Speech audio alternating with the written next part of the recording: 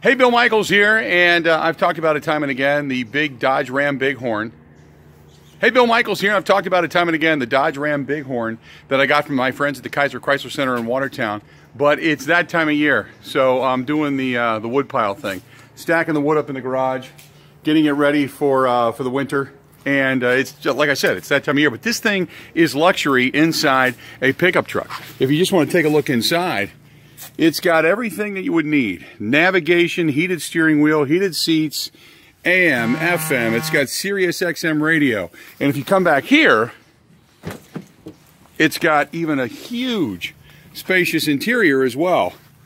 So everything you need right there in the Dodge Ram Bighorn and it's out at Kayser Chrysler Center in Watertown. They've been great people. David and his staff, they take care of you. And I've always said that if you kind of walk in and you're looking to buy, first of all, they have the best price, and that's what it comes down to.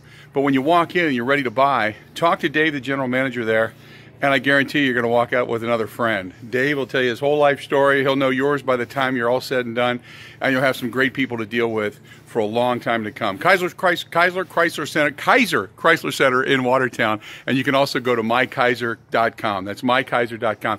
I got to get back to stacking the wood. Talk to you soon.